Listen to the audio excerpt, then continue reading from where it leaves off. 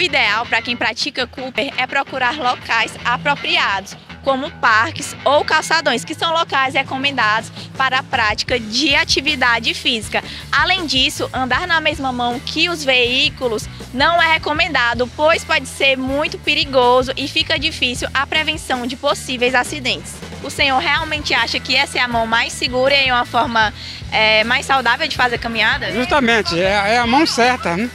É a mão certa das pessoas caminhar. Mas você acha que fica menos perigoso vindo de onde é que tá vindo os veículos? Perigoso em todo lugar não é, né? Mas o, o, o lado certo é isso aqui. Mil vezes olhando os carros vindo, porque quando a gente tá de costa para ele, a gente não sabe se questão vai vir um carro ou não a bater na gente, né? Então, melhor vir caminhando, olhando mesmo. Assim, na minha opinião, não influenciava, mas eu não sabia que o recomendado era vir ah, contra o, o veículo. E agora você vai andar com mais segurança? Vou, mas vou ter que continuar meu percurso. tá bom, obrigada. E na nossa opinião, quando você for fazer um Cooper, é melhor que você ande na mão contrária, porque assim você tem uma visão ampla do que está vindo à sua frente, podendo se prevenir de acidentes e muitas outras coisas que podem acontecer. E você aí de casa, qual é a sua opinião?